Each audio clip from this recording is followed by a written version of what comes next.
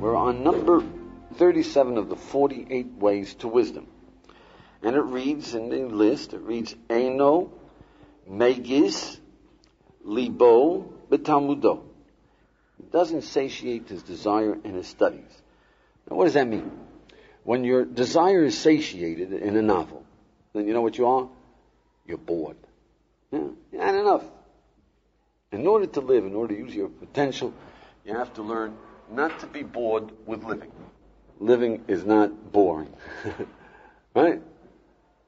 Right? Now, we all understand what we got to do. We got to be fascinated with this process of wisdom, of understanding, of living, of learning how to have pleasure. We got to be fascinated constantly. All right, so to focus your attention on the difficulty of the job, so I would suggest that think for a moment, imagine that uh, you lost your eyesight for the last uh, three years. And now you got a doctor, and he cures you. Do you realize how fascinated you will be with just being able to see?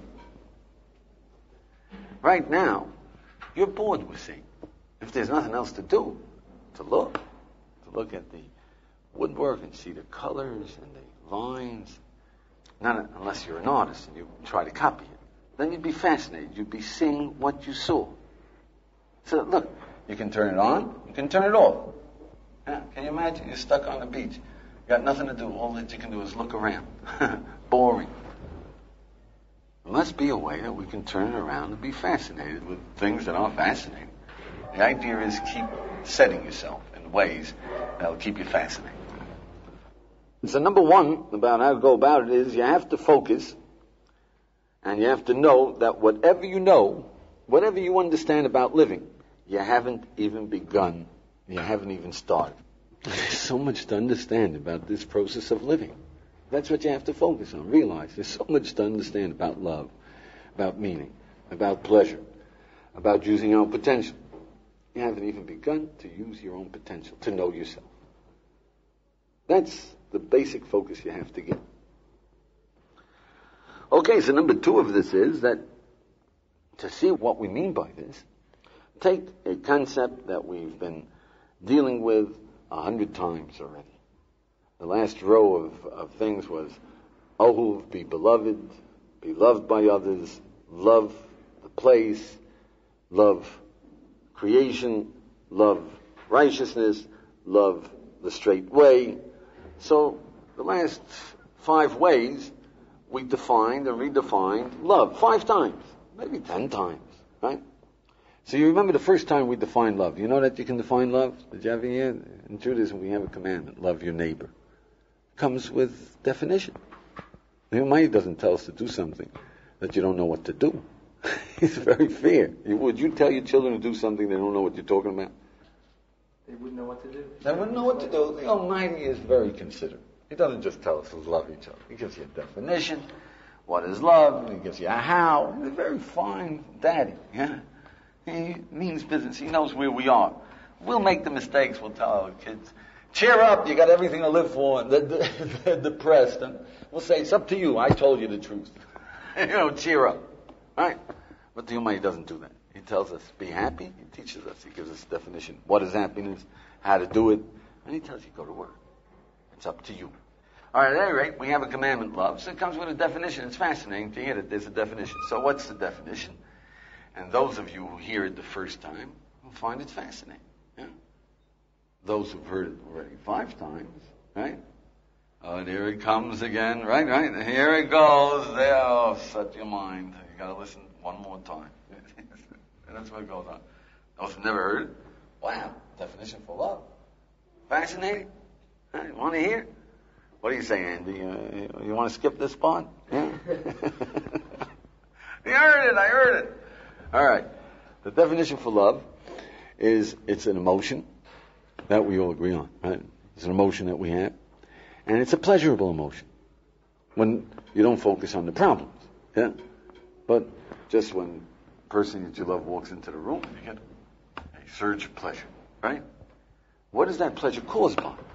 Judaism, we say that pleasure is caused by seeing virtue in another human being, noticing, understanding, and appreciating virtue, beauty, good, power, and another human being and identifying him with that virtue.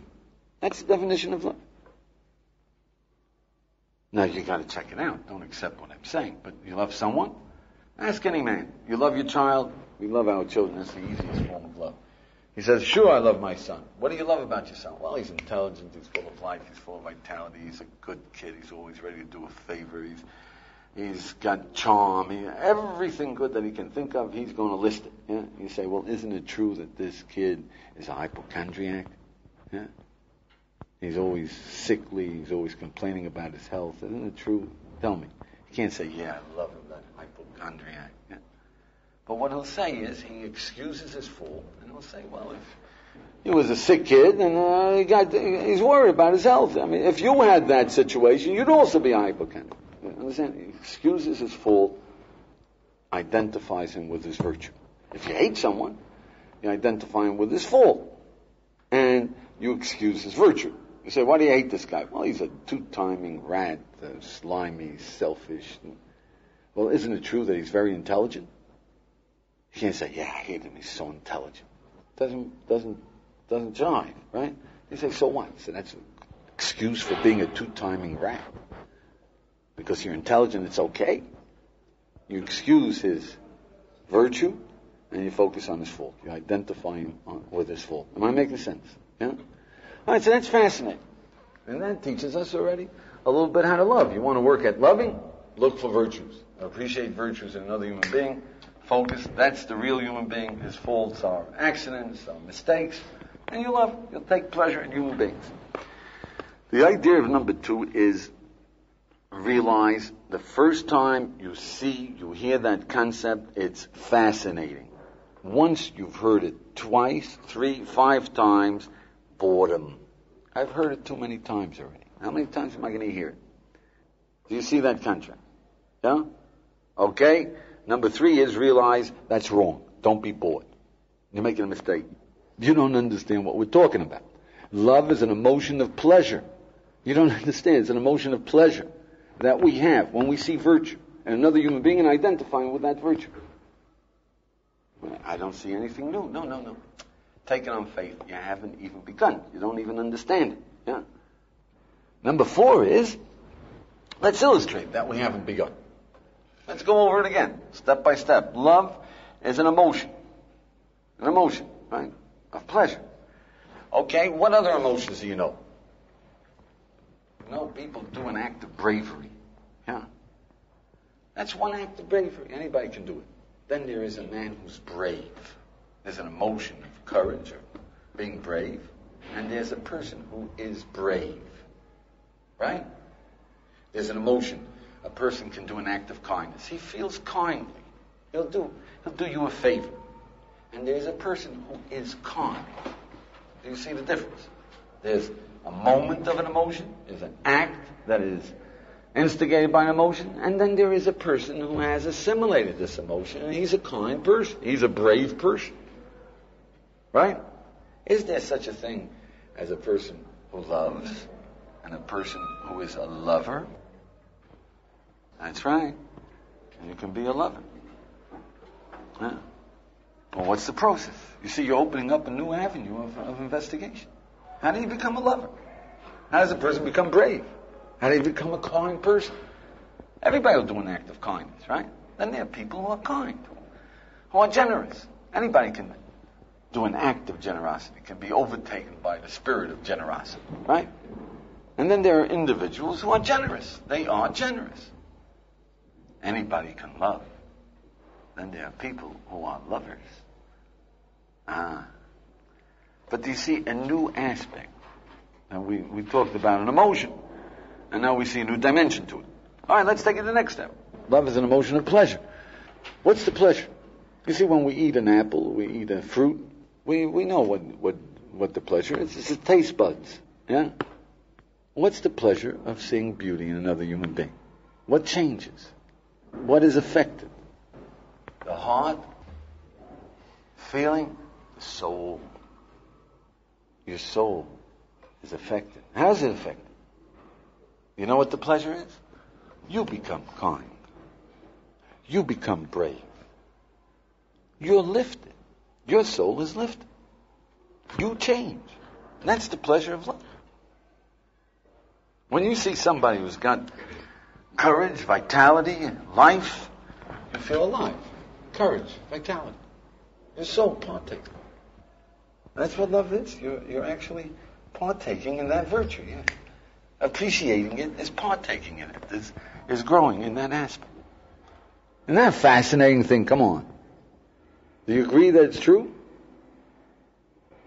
Of course it is. It tells us something about it. All right. It's an emotion of pleasure that we have when we see. When we see, notice, appreciate. Now, why is it that in our children we see it, and a stranger we don't? In our parents we see it, and in our friends we don't. What, what makes us see? If you see, you see. If you don't see, you don't see.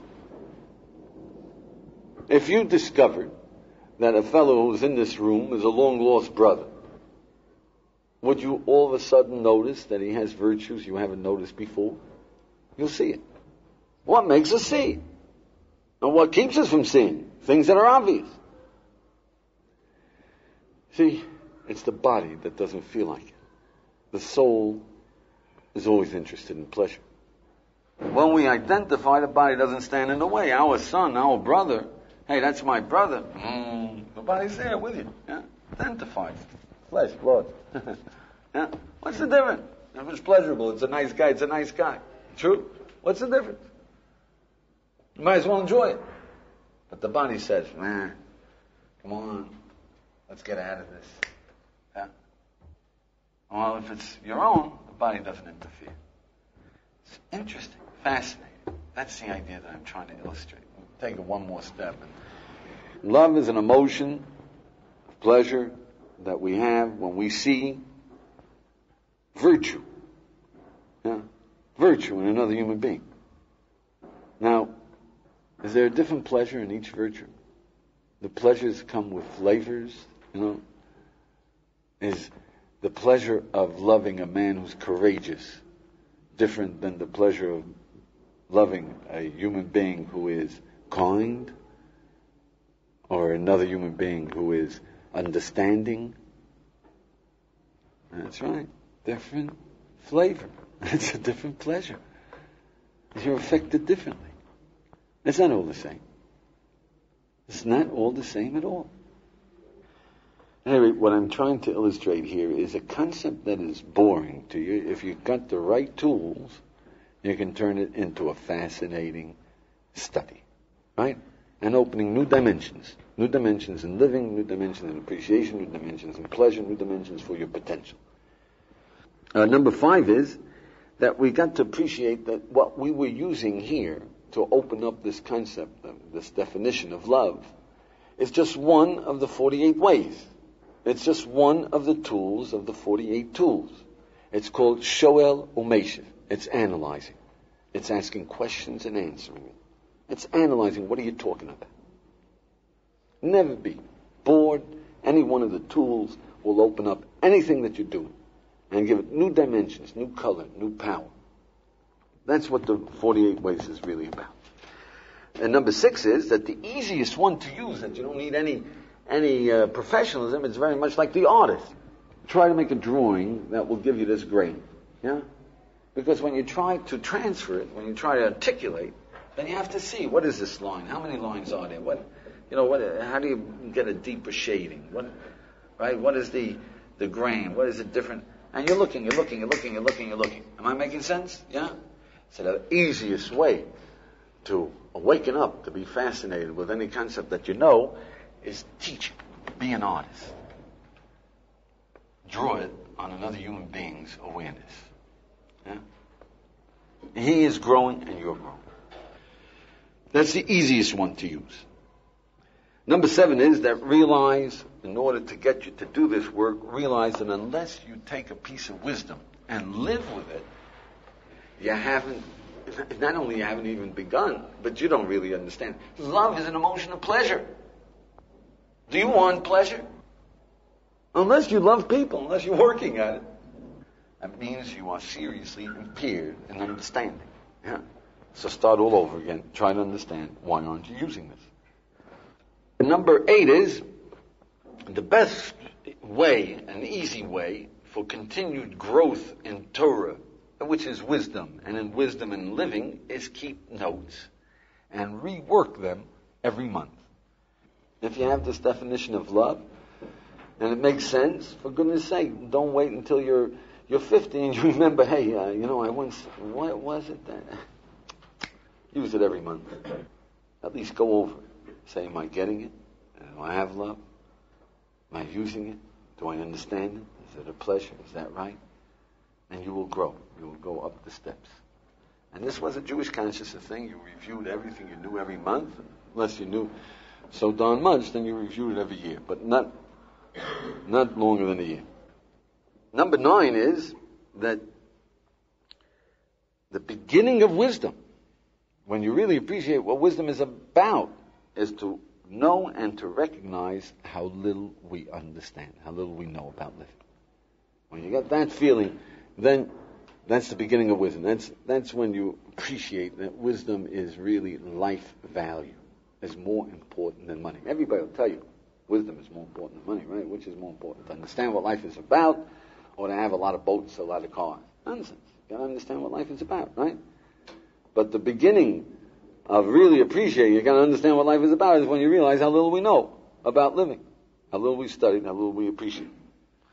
Number 10 is that the very worst is to say, I know you can't know. That's the very worst. Don't catch yourself saying such a thing. You can't define love. You can't define happiness. You can't teach me how to be happy. You can't prove that there's a God. You can't know that you know. You can't. That's the worst. That's taking ignorance and institutionalizing it. how do you know you can't know? When somebody tells you, I'll define love, or I'll teach you something you don't know, the natural way is to say, my friend, you got something, put it on the table, let me consider it. Isn't that natural? Why in the world should you defend ignorance and say it can't be done because I've never heard it done? So if I've never heard it done before, then it must be that it can't be done because you know everything. Because you're satiated. Number 11 is that every human being, Jew, would wake up in the morning and you know the first thing that he would say, which means, thank God I'm alive. Don't be bored with living. Uh-uh. Not another day is coming. Uh-uh. No, no. Appreciate the thrill of living. Thank God I'm alive. That's the first thing. That's the way to start. But then the rabbis go on to prescribe a whole series of birchot hashachar, the thanks, the blessings of the morning. And we thank God for giving us understanding and for giving us eyes and for giving us ability to move and for giving us clothes, etc. throughout the whole thing. So that you don't take things for granted. Don't take having shoes for granted. Number 12 is that Jewish consciousness was that every human being, we have the definition of free will. The common denominator of free will. What does it mean, common denominator? In Judaism, we say he's a God of all humanity. He wants all human beings to make it to to make it to love, to make it to meaning, to good, to pleasure. If you have children, you want, if you had a hundred children, you want them all to do it, right? The Almighty loves all humanity. So, He gave us the wherewithal. What, is, what does a Hottentot do in, in Australia? Or uh, a guy who's born in Red China? Or a fellow who's born in Voodoo Land in Haiti? How does he find reality? Yeah? In Judaism, we say the common denominator of free will is whether or not a human being will take the choice of asking himself, what am I living for? What do I really want out of life? Bottom line, or he'll take that for granted. Any human being, no matter where he's born, if he'll ask himself, so what do I want? All right, I want money. Why? So I can have securities. Why? So I can do what I want. Why? What do I want to do? I want pleasure. Which pleasure? Well, I want uh, frustrating. You have to have guts to keep at it. But that's the common denominator. Anybody who will do it every night before he goes to sleep, ask himself, bottom line, so what do I want? What am I really living for? Sure, I gotta go to college, because I gotta get a degree, because I gotta get a job, because I gotta earn money, because I gotta buy food, because I gotta eat, because I gotta live. But what am I living for? Yeah. We get caught up a lot of times in doing things, and we don't know why we're doing it, where we're going, what difference it's going to make for us. You follow? At least 10 minutes every night, ask yourself, bottom line, end of the road, what are you living for?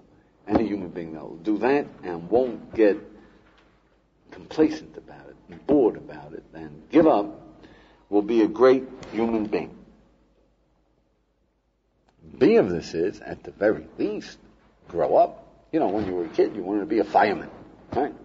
Or did you want to be a baseball star? Or did you want to be a, a, uh, movie magnate? Or did you want to be a professor? Or did you want to have a, a family and kids? Yeah, that's the, the level. That's it. What else is it in living? I mean, grow up. You know, mature.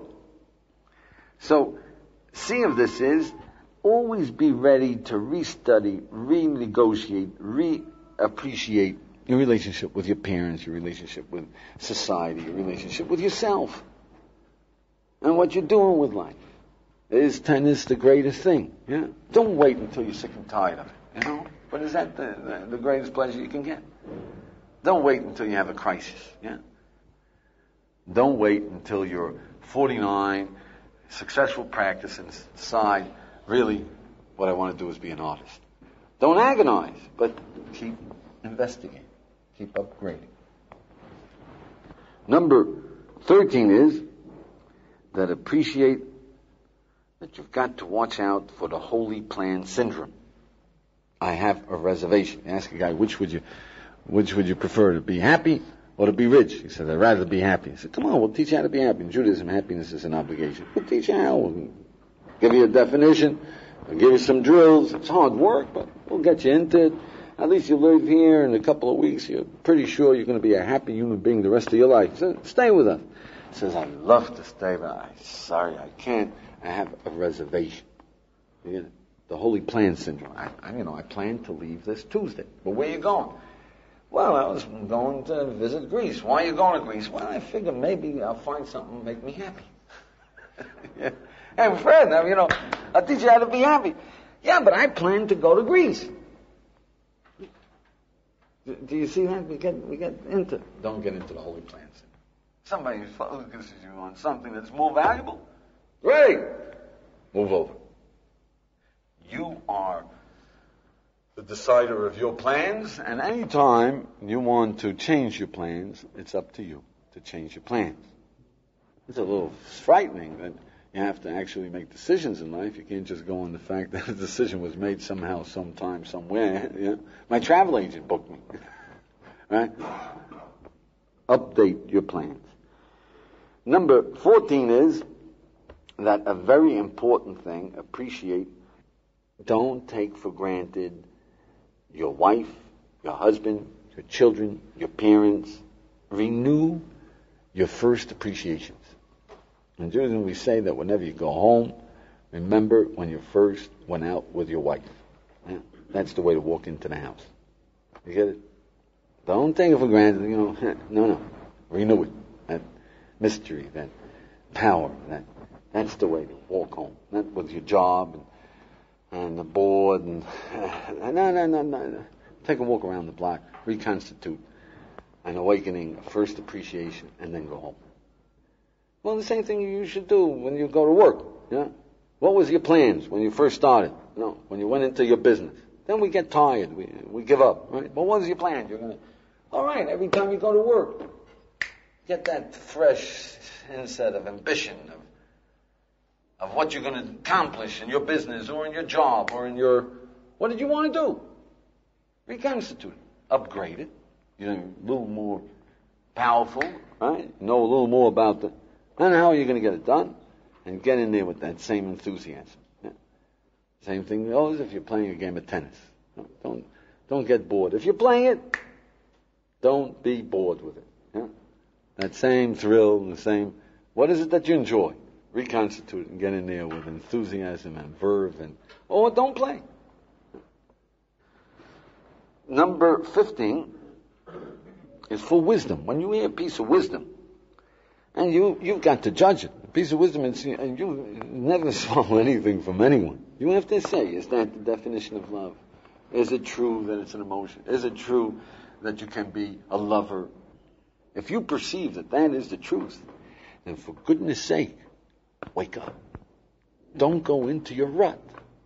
You've learned something. The world has changed. Number 16, for living. It's important. For living, you forget failures. Forget your failures. Don't live in your past. In our rabbi statement, we say that a person who has made mistakes and who's into bad habits shouldn't worry about guilt, or guilt is no good at all. He shouldn't even worry about regretting. Just start as if today is the first day you were born, fresh. Do you get that? How do you want to live? Describe how you want to live and go out and live that way. But what about all the things I've done wrong? No, no, no, no. Just start doing right. Just start doing it. But I can't. I, I always fight with my parents. No. you always fight with your parents? No, no, no. From now on, no fighting with your parents. What do you want to do with your parents? You want to communicate? Yeah, but they insult me. All right, so you want to keep your, you want to keep your temper? You want to be sweet to them even though they insult you? You want to let it roll off your back and tell them, Dad, I love you. Uh, really, I get hurt when you say. I mean, what do you want to do? From now on, do it right. Never mind, but yesterday, I mean, it doesn't work. I, I You're born today. What would you be doing today? Opens you up. Number 17 is that for a great leap forward into Ein Omega Siva Tamudu, into living, make a list of all your I can'ts. All the things that you can't do. I can't change, I can't control my temper, I can't speak to people, I can't charm them, I can't love them, I can't. All the things that you can't. I can't live in peace with my parents, I, I can't talk to strangers, I can't learn a language, I can't. All of them. Can't change the world. Anybody here can change the world? Nah, can't change the world. Right? All of them. Put in a list. I mean, everybody's got, is carrying around at least a thousand I can'ts. Right? Yeah? So make a list of at least 200. That's the assignment for today. You work at half an hour four times during the day, you'll find 200 I can'ts that are holding you back, right? Okay? B of that is sort them out. Is it I can't? Or I don't want to? Or I don't feel like it? Or I don't know how? Or I don't have confidence that I will see it through? You see? Don't say I can't. You know darn well that 99.9 of them is surely I can. Yeah? I just don't feel like it. C of this is keep your list and study them.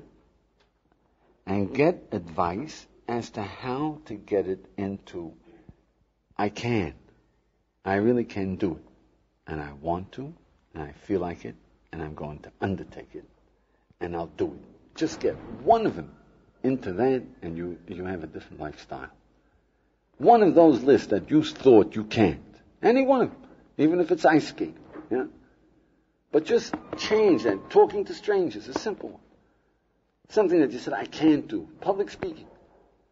But once you learned in reality that not only you can do what you thought you can, but you want to and you will and you decide to and you do it, you've opened up a new new dimensions in it. You're walking with your back straight. Now you got the measure of the enemy. Number 18. For living, for living, see how silly human beings are. Start with your parents. Are they still treating you as their, as their baby boy? Huh? But see that people have a set. They make an impression. They've learned someone and they figure that's it. And they don't update. They, they're stuck with something, right? Mark Twain said, he wrote, that when I went to college, I thought my father was an old fuddy, didn't know what living was about, he was an ignoramus, etc. And while I was away in college, four years in college, and I came back, I was amazed to find out how much the old man learned while I was away. Right? How much his old man learned while he was in college. Yeah? Right? This is a guy who grew up. He saw that what he thought his father didn't know was what his father knew. Am I making sense? Yeah? Well, make sure that you grow up, that you change.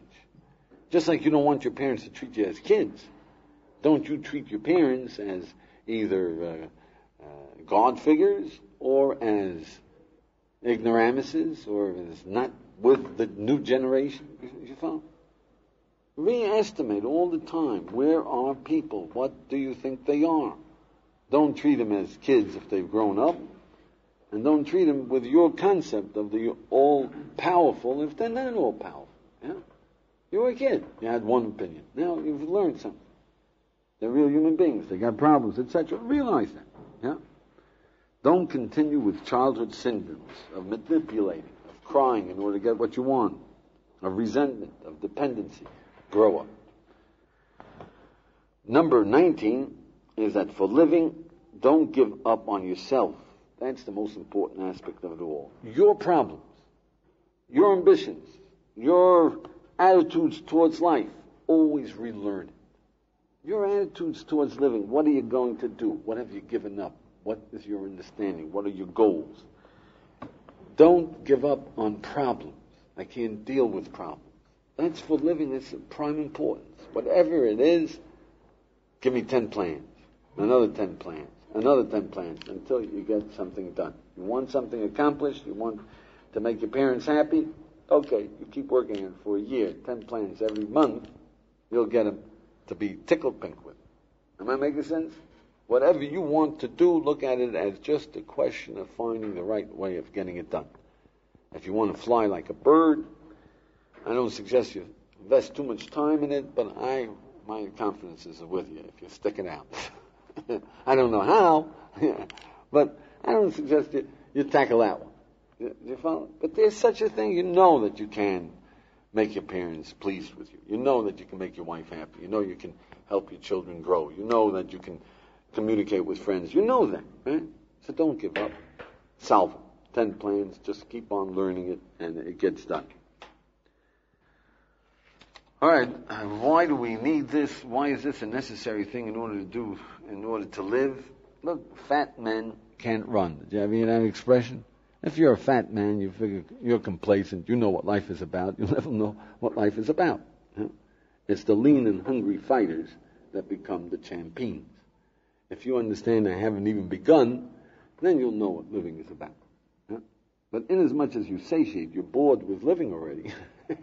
you haven't you haven't free of a chance. Number two is that it's the only way to get rid of prejudices. The only way of getting rid of the prejudices is to realize that you haven't begun. Otherwise, we're, we're locked. We're locked into an opinion. But when we say, come, you know, I haven't begun, so you start looking at it, you analyze it, you find your mistakes. By really restudying what you what you think you know, you'll find that you made mistakes. It's the only way, really, of getting rid of prejudices on your own. You can get rid of prejudices by having people come and get your attention and show you differently, etc. But on your own is restudy the issues and you'll find out that you don't have a leg to stand on. How do you know that the world is round? That's what the people had to do to figure out how do you know that the world is flat, is wrong. Where are you coming from? How do you know it? Am I making sense? So how do you know the world is round? Well, you better check it out. Don't take it for granted.